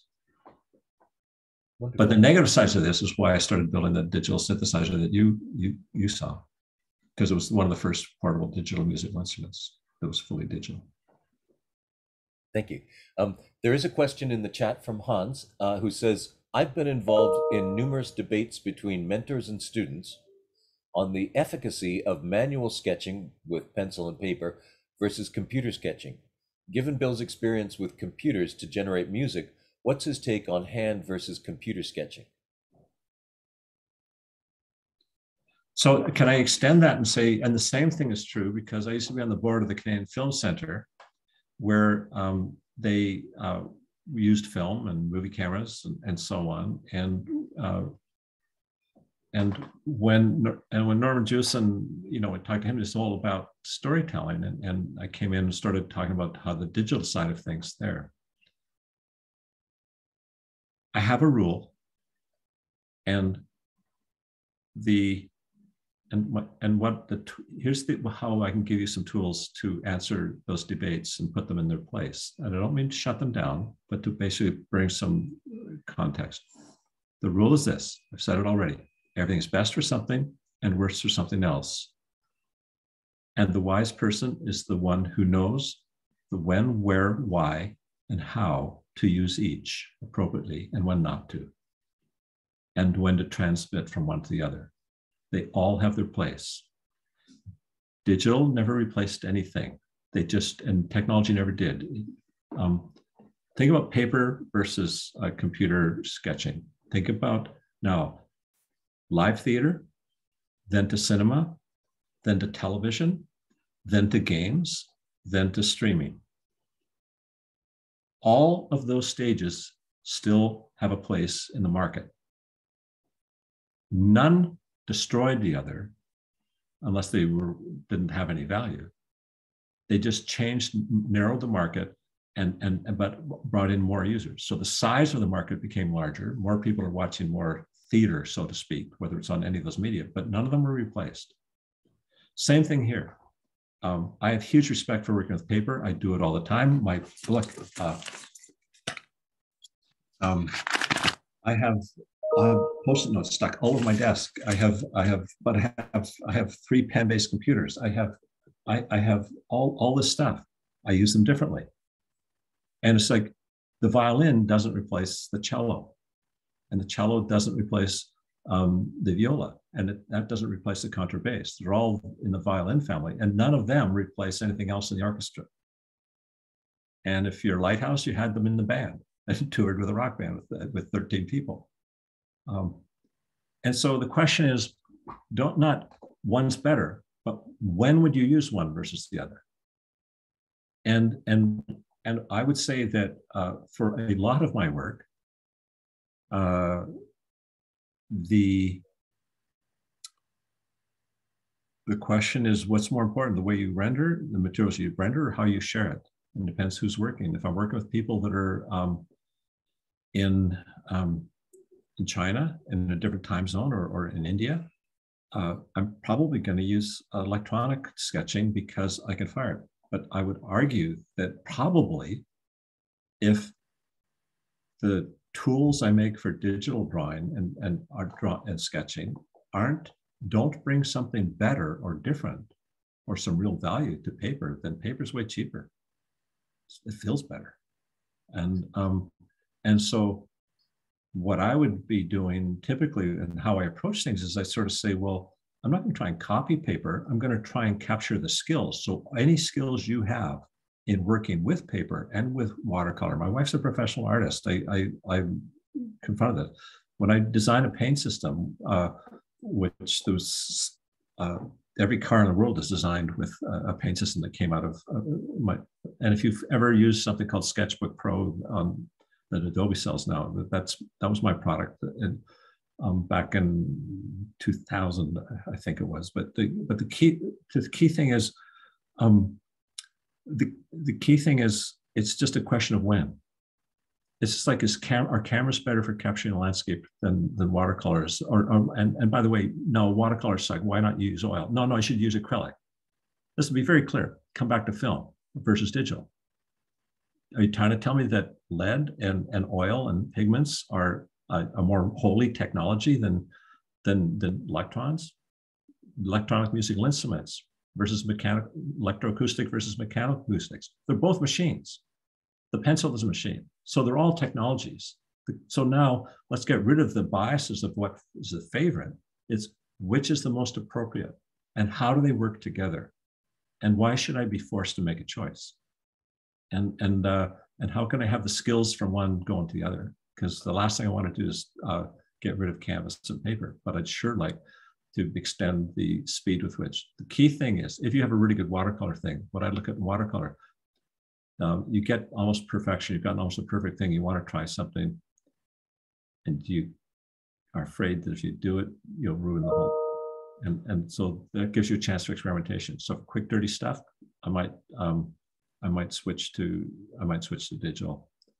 But uh, what I'd say is the introduction of markers completely changed industrial design and how they the process.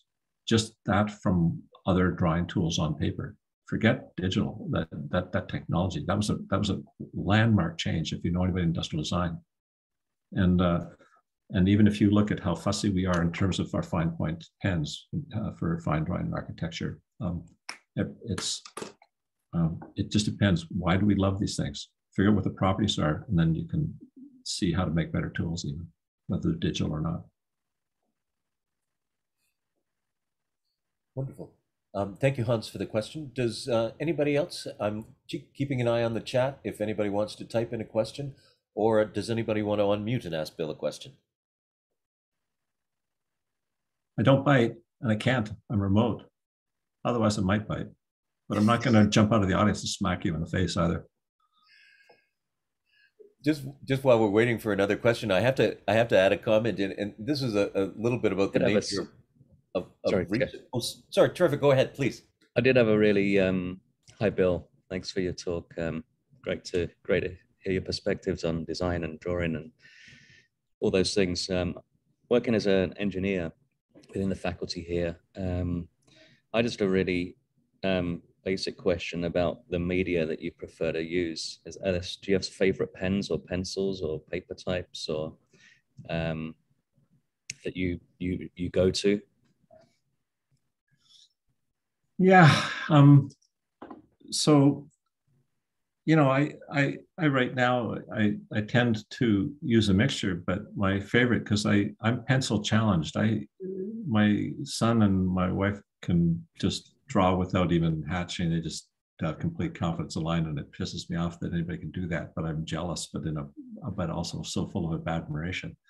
So I find that um, I, I, I can work better with uh, something that's very fine tipped and, and sensitive. I, but I also have a mixture of things depending of what, what I'm what I'm drawing. So I, I surround myself with different tools. The the styluses I use on computers, and I've worked uh, on on these things. This one is uh, from Wacom, who's, which uh, is one of the first companies I visited when I went to Alias to to talk to them about the design of pens, but where they can actually sense tilt and pressure and um, uh, so you can actually get fine, beautiful, uh, and, and, and you can control different things. So they, they have different sensitivities, but it's the question of finesse. What's a worthy tool? You spend mm-hmm. so many, so much time learning to have this beautiful craft, and then somebody gives you this. It's like the, a lot of computer paint programs are like you've got these beautiful skills you've worked through your whole life in high school. You're the best drawer in the class on paper, and then they give you this thing that's it's worse than a crayon. It's like uh, trying to draw yeah. with your fist, and it's just like, I, here's here's why I think where Doug and I sort of cross paths, and I, I don't know whether he would articulate it this way, but but but this holds true with artists too. That there's no profession because I'm a biased as a musician, there's no profession that has a longer history of expressing powerful creative ideas through a technological intermediary than musicians. Weapons don't count. And, and therefore, I often, uh, in Europe, when I had to uh, sign hotel registers showing your profession, I would write luthier, which is uh, the French word for lute builder, which has become the generic name for a musical instrument uh, designer and builder and the and the properties, all the properties that I would say a musical instrument, a digital musical instrument, just as a digital pen or paint program, the measure, my measure of a good design is, is it worth practicing? Can I improve? And does it make me stupid? So I lose my skills and it just tries to do it for me. No, I want to be able to express everything where I'm in control. And if it makes me better, that's fine. But, but, but in a sense, and that I, the skills I use when I work on the digital will transfer when I go back to paper because I'm not going to get rid of, of either. And the same thing, I'm not going to get rid of my conventional instruments. I'm not going to throw in my saxophone because I, I've got a, a synthesizer. And but the most important thing to respect is the human skill, not the thing that enables it. It's just a mediator, and it has to be analog. And all of this stuff is digital and it switches as opposed to flows. The reason the iPhone killed Microsoft's phone business isn't because it had a multi-touch. It wasn't because of icons. It wasn't because of touchscreens. All of that stuff had existed before with existing products. Again, if you've gone back do the history like I have, I can illustrate everything I'm saying. It was because it was the first digital device at the consumer level that had an analog interface. it animated, things flowed, they had shape, they had dynamics, and had physics. And, and by the way, they were terrible at it. But relative to the time when it came out, it was a night and day. And you just felt, ah, this feels like normal. Mm. And so here's my here's the thing about design. Everybody thinks that they design features as opposed to products, and they don't think about design languages. So here's here's my my favorite riddle. Um, um,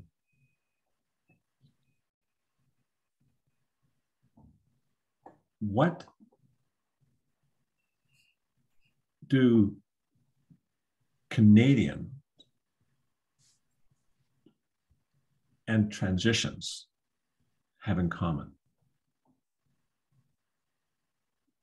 What do Canadians and transitions have in common? This is a bit of a geeky joke. They're both dominated by the states in the sense of when you do a storyboard or state transition diagram, we spend all our time in the circles and then just draw a line of an arrow connecting them. The magic that got the iPhone where it is, is they spent their time on the arrows. And if you look at any book on storyboarding, most of them aren't about story, storyboarding, but there's one book on um, for directors. And I've worked in Hollywood. And I can just tell you, if you look at any storyboard worth its salt, it's full of arrows. There's a huge vocabulary of arrows. There's annotations, and the arrows will work within the frame and between the frames. And there's a lot of text because it's all about the transitions. It's all about the flow. And what we're trying to do is make it analog, make things flow. Um, every single thing we do with every product is a compound task. And if you have to go step, interruption, step, interruption, for all the micro steps, there's an interruption to get from the next step to the next step, to the next step. That takes cognitive load to be able to do the planning, skill to remember the order so you don't make a semantic error, and and then and there's this this this, this horrible feeling. But when you just go like that, it's it flows. And so flow, it, it, there's this whole part about flow and cycle. That's that's that's fine too. But I just mean uninterrupted, no speed bumps. What's the activity? How do I treat it as a whole? And and all of my design is that because it's exactly like music. I've got notes, I've got changes in articulation, vibrato, stuff like that but I'm just playing the phrase. And I want you to hear the phrase. Everything else is just amplifying the phrase, but I'm focused on the microstructure, not the macro, because it's poorly designed. And that's that's the case. Nearly every paint program only lets you use one hand. You cannot draw without rotating the work and so on and so forth with the other hand when you're working with paper. There's there's there's there's no no computer system that lets you do that.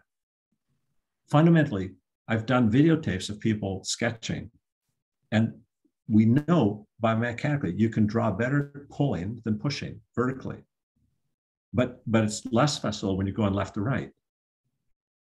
And so you'll rotate depending on the find and all these types of things. There's all these things about the biomechanics. And so the, it isn't about paper, it's about the fit to the human.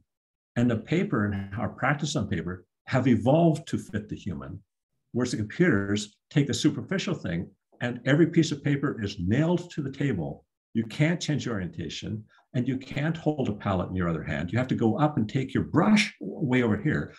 You know, it's it's like if you go to the Rijksmuseum and look at the night watch, you do not see it full of holes where Rembrandt nailed his palette onto the onto the canvas so they could do that. And and and, and it was covering up. He could just pull it away and and and that. All those types of actions. I study the human. I, uh, the, the technology I care about is the human and then I try to find the, the, the way to mediate that, that, those natural skills, as opposed to saying, here, let me fit you to that. This is the perfect, because I'm a genius. I know how to do engineering software. And the part is when I come up to engineers, whether structural engineers or, or electrical or mechanical engineers, the, um, the, the key thing is they actually get it and we can find the common language. And the, and the, the problem is, is that we speak very different languages and um, and I'll, just tell you one other thing. As a designer working in a high tech company, I'm actually a translator because for some fluke, I, I ended up because I was in a computer artist in residence in the computer science department. I, I, I am bilingual. I can speak engineer and I can speak uh, design. And so this is my biggest tip for the social things about when you are trying to get on with others. Because when I came to Microsoft, people said those stupid designers, they have their head in the clouds, they can't do a thing, they're useless and stuff like that. They're idiots, they won't listen to anything, and they're just all going off of this stuff, a bunch of hippies. And the designers think those engineers, they're so anal retentive, they just they have no imagination, they're so stuck in their things. And, and it's like, no, no, there's not a single stupid person there. There's, I have never met a stupid person. I've, ne- I've never met anybody who wasn't highly motivated. There, but there's such cultural differences, but you don't see the differences. They all go to the same universities, drink the same beer, cheer for the same hockey team and stuff like that. And all of a sudden they come to work, they're, they're just like, like oil and, uh, and water. So the thing is this, you can leverage this. Remember I said about the critique. This is where it's really valuable. And this is where it gets in danger when you've got people with an engineering and science technology background versus working with people with a design background, especially in architecture, where crit is really important. And this is the people in the arts background show how good they are by how they can make art or create great things out of anything. Give me anything, and I can I can do make music with it. That's my pride.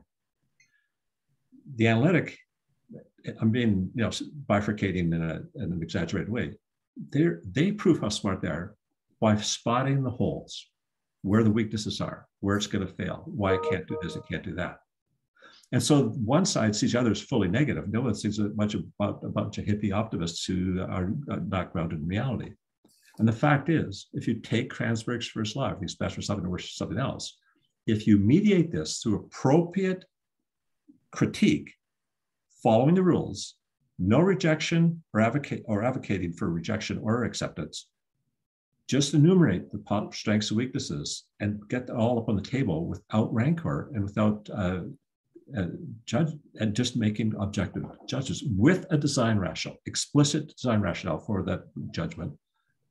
Then you step back and say, oh, we were both right, but we approached the problem from different sides, but we're on the same team. And those types of social mediations, I spend really a lot of my time and I'll just say, hey, stop.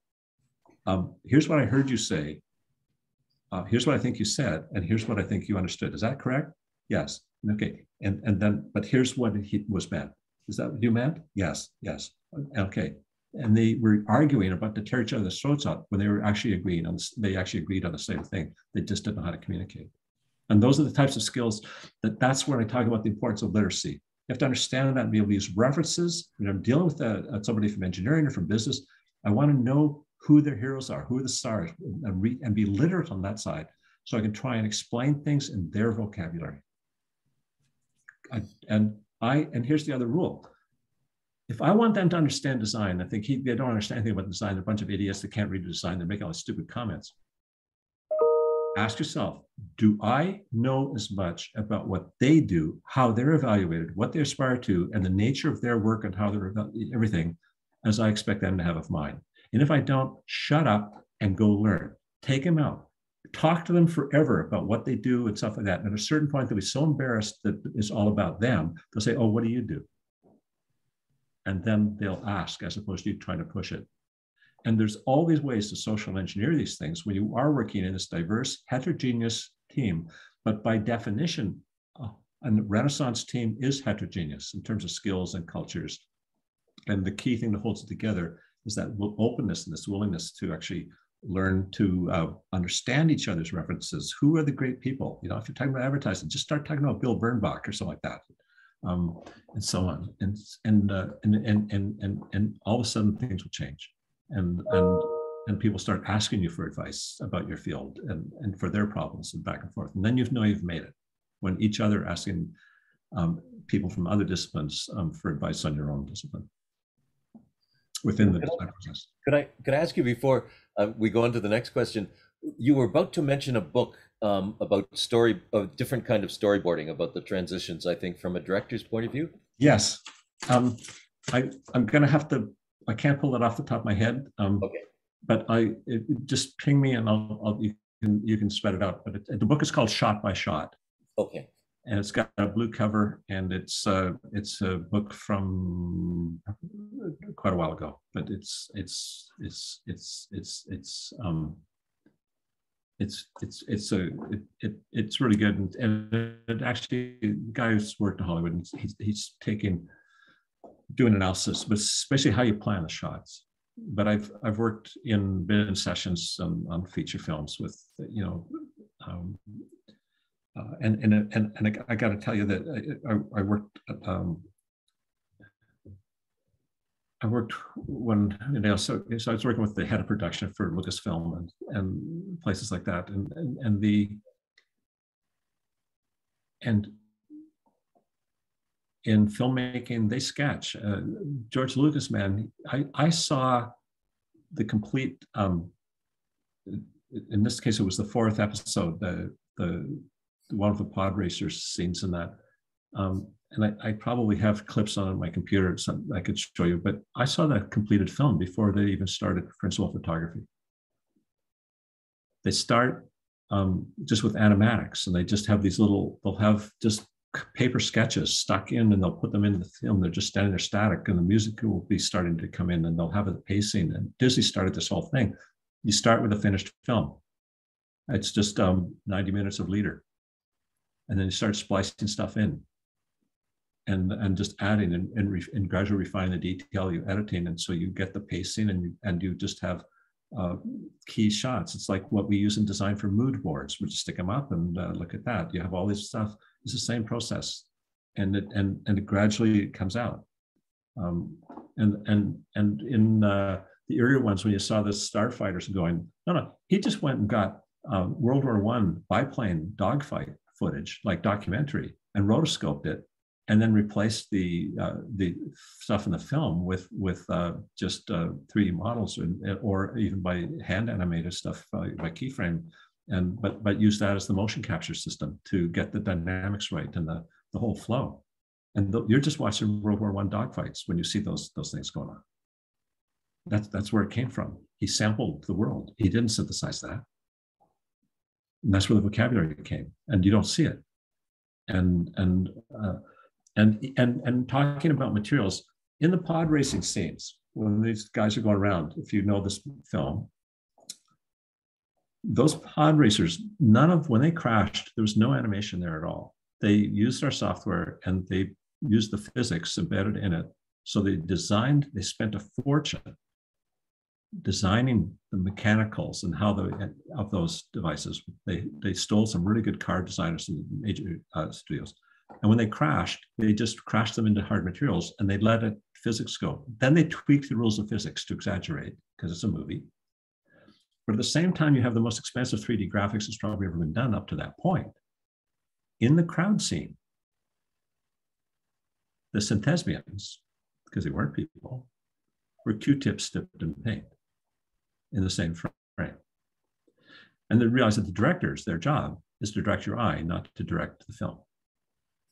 And, and so talking about materials, um, James Cameron would have like full 3D models walking on the deck of the Titanic when you got the shot from way far away that you had to render really expensive. Q-tips would have worked. Very, very different approaches to how to use technology and understanding where, what the purposes are and what the costs are. And, and so uh, my, my characterization of George Lucas is uh, he's the cheapest, uh, he's cheapest uh, person in Hollywood and now, you, Doug, this is where you say, well, how cheap was he, Bill? He's so cheap. George Lucas is so cheap, he'll spare no expense to save money. And in a sense, that's what we need to do in terms of our interactions with management. No, we're not expensive. If you invest up front, when the team, the burn rate is low, and we can actually do our jobs better, because we've got the right staffing and the right teams. We're not going to be late. We're going to be early on delivery. And the product is going to be tested. It's going to be reliable. We'll never be 100% in terms of successful, but you'll find out sooner and it'll cost you less. And the, and the percentages will be far higher. And that we can demonstrate. And all of this can be taught. It's, there's no magic. Um, and and um, and trying to, you know, and Voltaire said it right. Uh, perfect is the enemy of the good. Just be able to do good work, and every once in a while to do brilliant work. but good's got to be good enough because there's a lot of bad stuff. And here's the one last reason about this before I got to go. So it's got another meeting. Is this whatever you think I can never get my product to market or I can't be successful, look at the crappy products that are out there and what kind of bozos must have uh, done them? How could they somebody who you would be contemptuous of in terms of the quality of work instead of being critical just say my god if they could get that to market what's wrong with me that i can't get a really good idea to market? What do they know that i don't know? Because they're not that stupid. They just are bad designers or have a bad product. And so go find out. Look in the look at the failures. Don't just look at the successes. Because um, almost every product that's a huge success has had an earlier version that was a total failure. Oh by the way to emphasize that i'll just give you one example. The iphone is maybe the most successful computer uh, you know digital gadget in, in history from a financial perspective Jony Ive was the lead designer on that.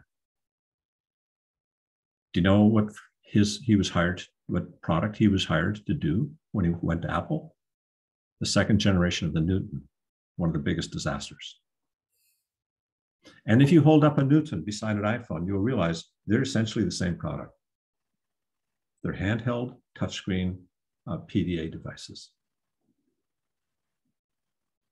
Um, and and um, he uh, was not a famous guy in those days. He was a really good designer, but we only see the successes. We don't see where it came from. We don't see the connection. And by the way, the iPhone uh, came the that PDA that uh, Palm Two, sorry, the uh, not Palm Two, the, the second generation Newton came out around the same time as uh, IBM came out with the Simon smartphone which is in 1963, was the, was the first phone, which is a full smartphone with a touchscreen with icons, the pen, and all, all the sort of stuff, graphics. And it was an iPhone. If I described it to you, you'd say the, you just described the iPhone, and that was um, way earlier. But it was around the same time Jony Ives said, and he that he knew that phone absolutely, and he put that together with the Newton stuff and with the changes in technology figured the tra- trajectories on the long nose and said, okay, this is when these things are going to mature. This is when we're going to do it. And he convinced Jobs. Jobs saw the vision to do it and gave it, and they and and they won. And uh, and the rest is history. Um, but those, this is what I talk about the history. Look at the case studies. Just like you pretend you're in business school, pretend you're in law, do the case studies, and and and do and do the history.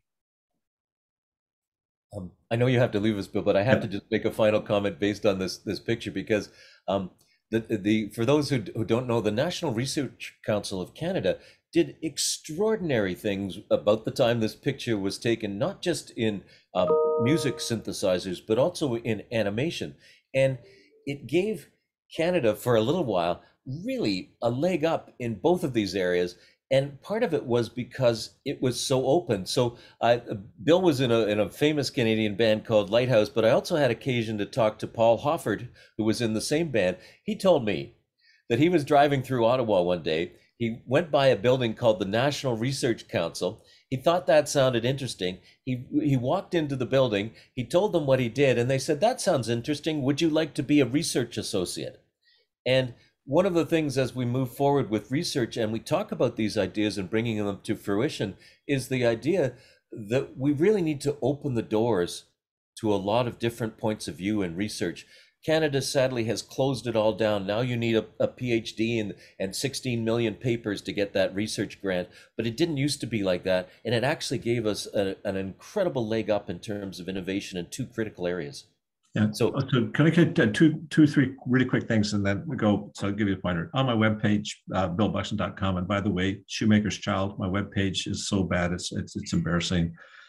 Um, uh, I don't know what to say about that. I should lose all credibility. But the, on the papers page, there's a fun essay called The Folly of Research Funding in Canada.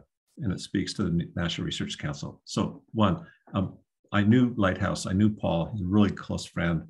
Um, we've done tons of things together. I wasn't in the band. I was in, I had a different group, but that, but um, but I've sure been in recording sessions and stuff uh, with them. They're, they're and so and and but our show, our stories are similar.